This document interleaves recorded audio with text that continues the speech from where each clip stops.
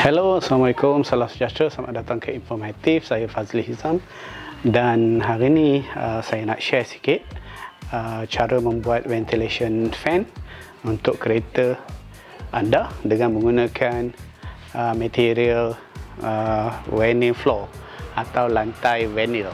Okay, ini adalah lantai vinyl yang saya maksudkan tu. Okay, lantai vinyl ni dia punya kelebaran dia kelebaran dari sini ke sini adalah 6 inci ya. Dan panjang dia lebih kurang dalam 36 inci. So, kenapa kita memilih menggunakan uh, vinyl floor ni?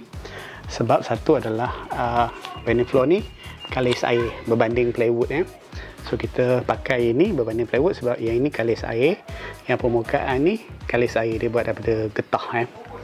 Okey, belakang dia ada gam Ha, sebenarnya vinyl floor ni kita guna untuk buat lantai eh. Tapi saya memilih material ni satu sebab dia kali air, kedua adalah sebab uh, dia punya flexibility.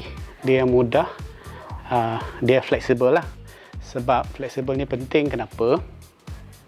Okay, fleksibel ni penting kenapa? Uh, bila kita buat, uh, kita akan masukkan dekat cermin, antara cermin tu nanti, kita akan bengkokkan sikit macam ni dan masukkan ke dalam slot di sini, di sini dan di sini. That's why kita perlukan dia elastik uh, kira mudah dibentuk ya.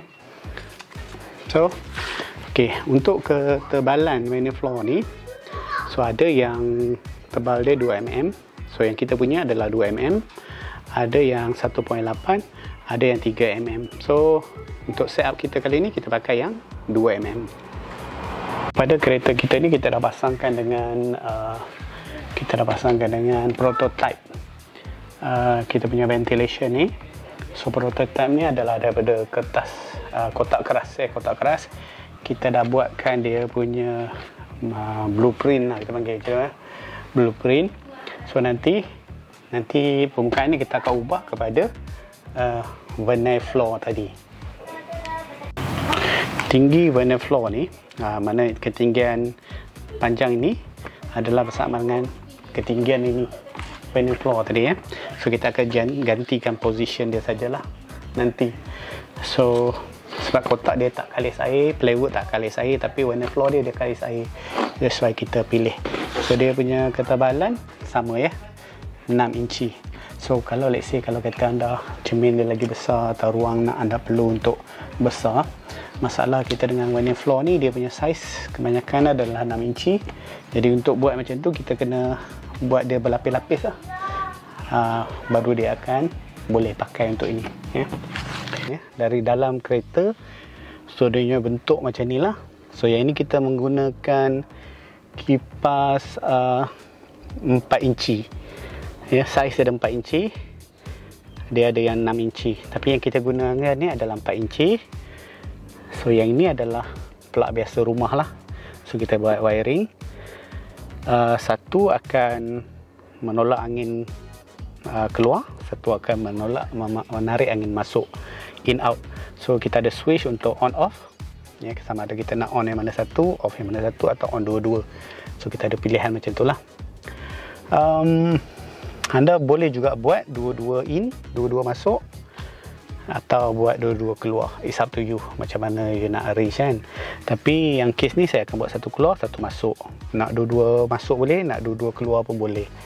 So uh, so ini anda boleh buat sama ada menggunakan uh, kipas yang 240 atau kipas yang saiz dia um, dia punya menggunakan 12 volt tapi untuk setup saya ni saya menggunakan 240 watt sebab saya menggunakan generator untuk jalankan kipas ni.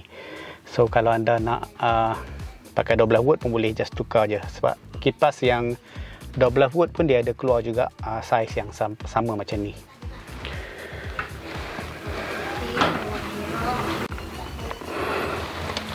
Okay, tinggi dia tadi ni 6 inci. Kalau anda lihat kita akan pakai ketinggian untuk kipas ni saja.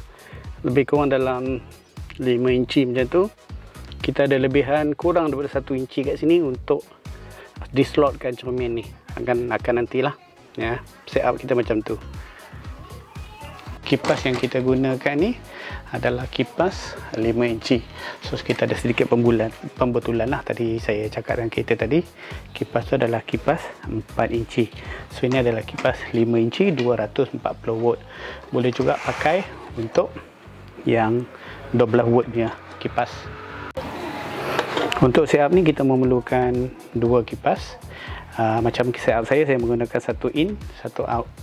Atau ini in ini out. Tak kisah mana-mana pun boleh satu plug rumah dan beberapa wire yang disambung kepada 240 watt kalau anda menggunakan kipas 12 watt sambungan adalah 12 watt lah. Sama saja setup sama cuma tukar kipas saja.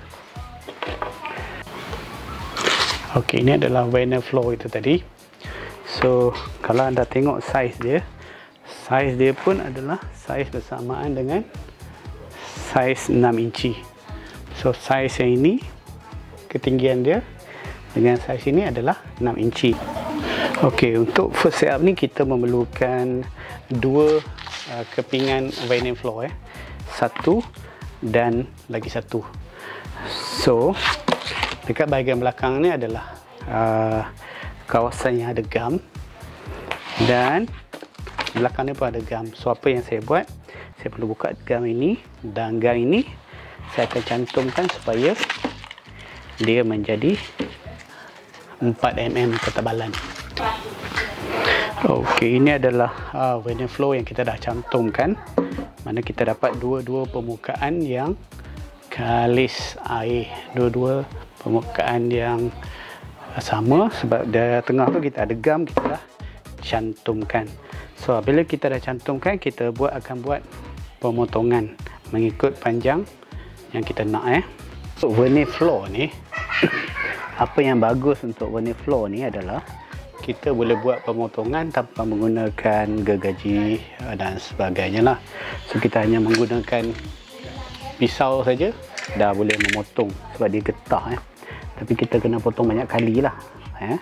Dan kita guna sesiku dan kita akan memotong mengikut kita punya template yang kita dah buat lah kita akan potong menggunakan beberapa kali lah menggunakan pisau ni sampai dia tembus. Ok setelah kita potong dengan pisau tadi so dia akan terpisah lah macam ni. So agak senang berbanding. So yang kita pieces yang kita akan pakai ni ha, lebih kurang macam ni lah. Kita hanya perlu panjang ini mengikut tingkat masing-masing lah. Kalau katakan kereta anda tingkat panjang kan anda kalau tingkat anda panjang anda perlu ukuran dia panjang jugalah. Tapi yang ini kita hanya memakai lebih kurang 23 23 setengah inci untuk kereta Viva eh.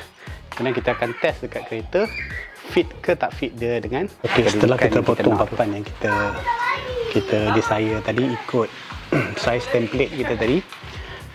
So kita akan masukkan. That's why kita perlu bend kan dia macam ni supaya dia boleh masuk antara dua tempat ni lah. So kita akan bengkokkan sikit. Masukkan di antara dua slot cermin ni. Ok nampak macam ngam? So kita tolak lah. Tolak ke atas. So ini akan buatkan uh, dia fit lah. Mana air hujan tak boleh masuk ke sini. Macam dekat atas ni kita ada uh, air press ni. So membuatkan air hujan tak boleh masuk lah. Nanti kita akan adjust di tepi ni supaya uh, untuk lagi satu layer. So kita akan tunjukkan.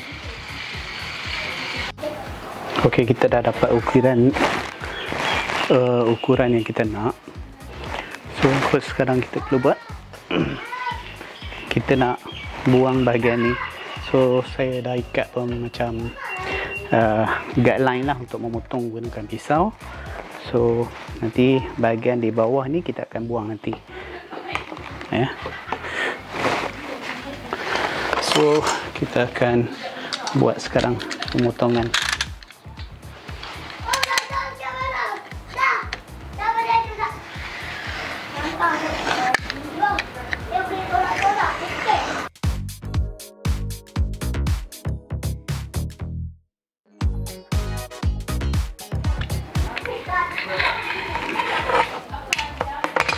so kita dah potong kan? So bahagian ni kita bahagian ni kita tak nak. Kita nak pakai bahagian yang ini? Okay, kita akan ambil lagi satu layer? Uh, vinyl floor ni kita akan lekat di atas macam ni. Okay, kita akan buat sebelah sini dan sebelah sini. Dua bahagian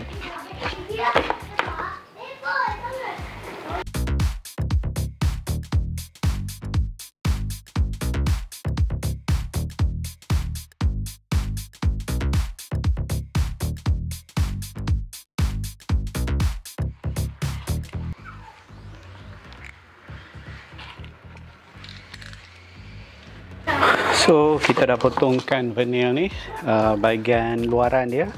Satu dua. Dan ini bahagian tengah. Eh, tengah dia kecil kecil kita buat kecil. So dia punya idea macam ni lah. Basic idea.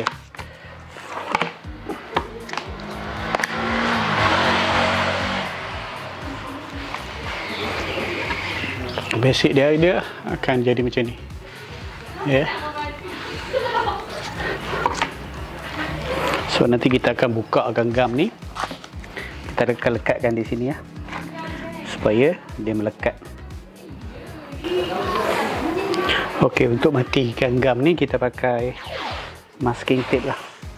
Kita akan tapekan gam ni di kawasan ni supaya dia tak tercabut lah lain kali.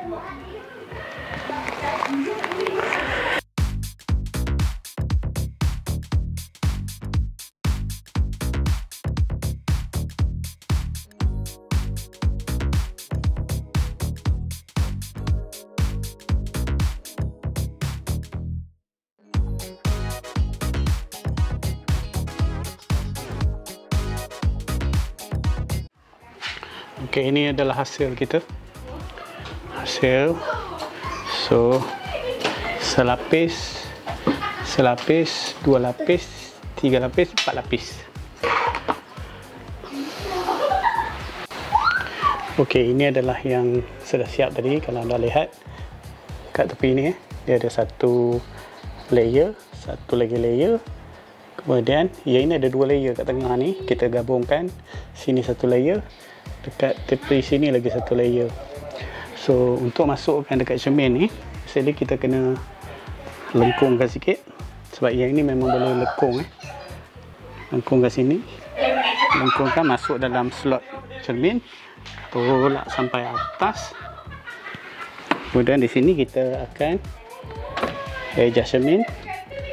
Naik sampai atas. Dan cermin tu masuk di antara slot sini. Ada ada potongan tu ada slot kita masukkan antara itu.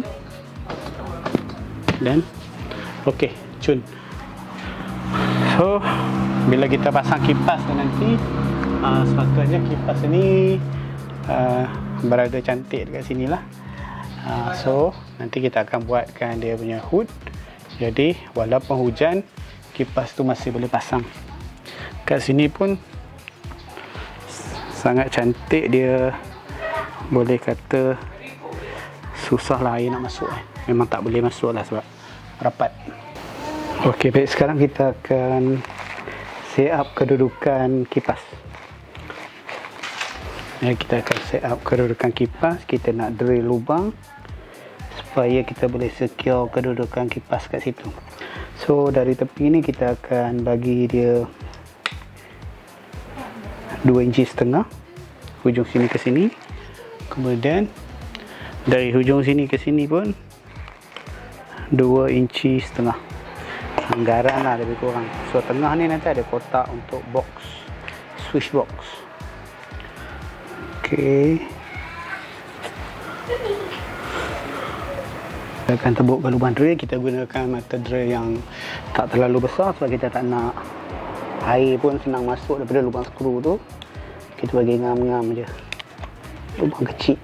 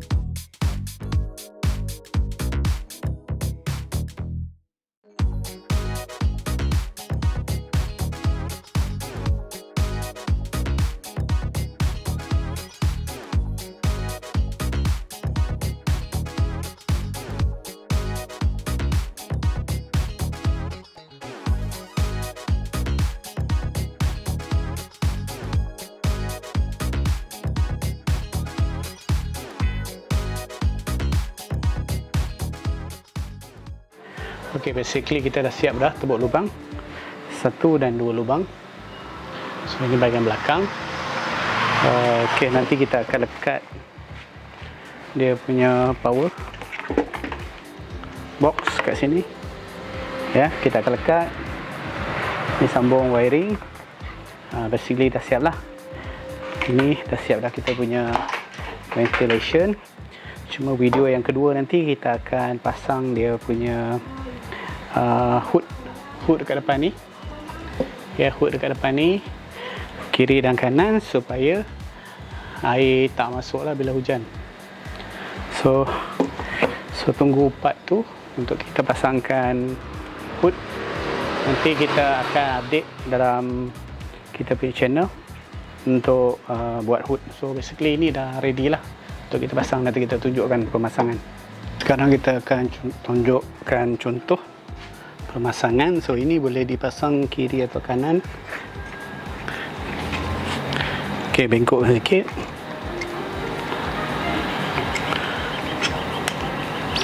bengkokkan. Ok tolak terus ke atas so, lepas dah tolak tadi ke atas kita naikkan cermin.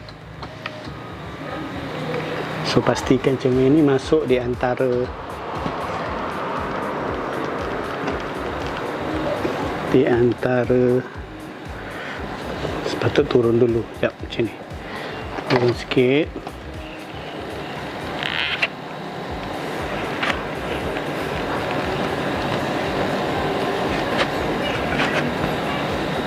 Okay, masukkan di antara cermin tu dan biarkan cermin tu naik. so sangat secure lah so video yang kedua kita akan pasang dia punya hood. Jadi bila hujan walaupun hujan lebat so dia tak akan efek uh, air tu tak akan masuk. Kalau macam ni air hujan masuk kan.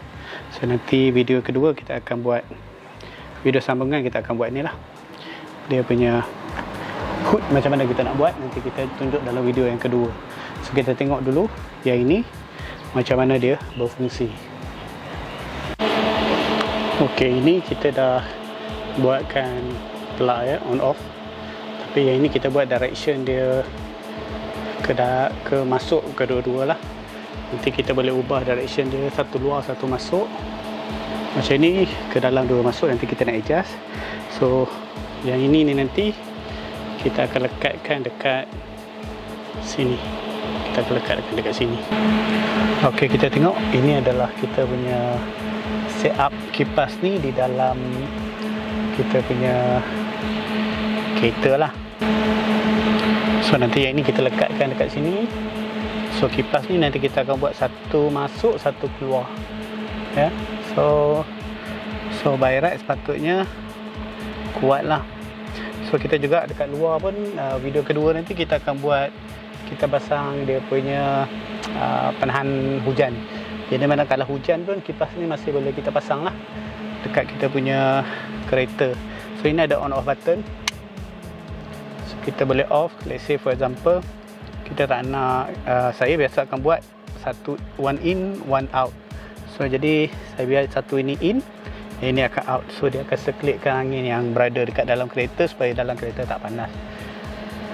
So that's it.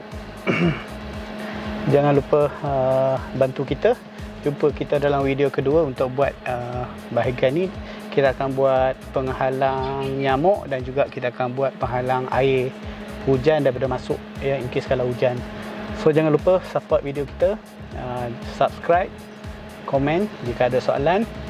Dan uh, kita akan berjumpa dalam next video. Assalamualaikum salam sejahtera. Terima kasih kerana menonton. Bye bye